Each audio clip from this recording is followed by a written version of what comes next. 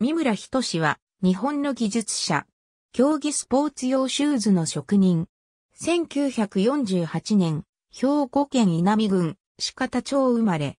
中学時代から陸上部に所属し、陸上競技の強豪校への進学を目指す。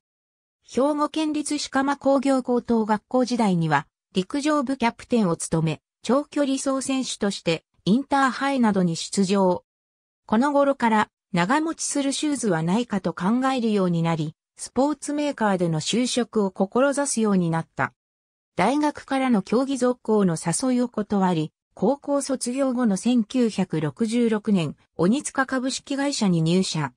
整形係、仕上げ係、研究室を経て、1971年、入社当時から希望していた研究室に配属される。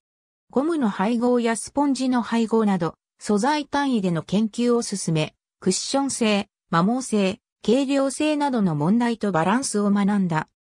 1974年にたった一人で別注シューズの製作を開始し、その後は他の社員と共にオリンピックを目指す選手をフォローしていくことになる。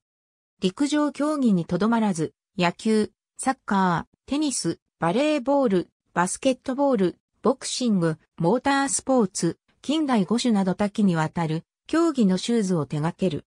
君原健二、瀬古俊彦、谷口博美、森下博和、高橋直子、有森優子、野口瑞希、一郎、長谷川穂積、尾崎義美、尾崎まり、青木のリッチカ、内川誠一、香川真二、木崎良子などのシューズ制作を担当した。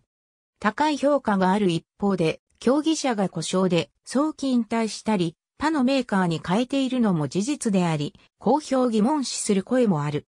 2009年、アシックスを定年退職し、兵庫県高砂島板町において、シューズ工房、ミムラボを設立し、代表取締役に就任。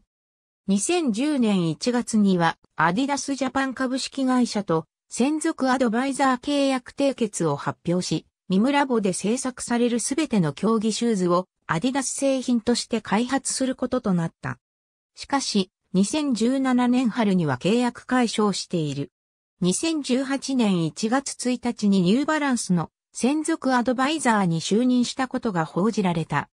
2004年のアテネオリンピックで野口瑞希は女子マラソンで優勝した直後、右足のシューズを脱いでキスをした。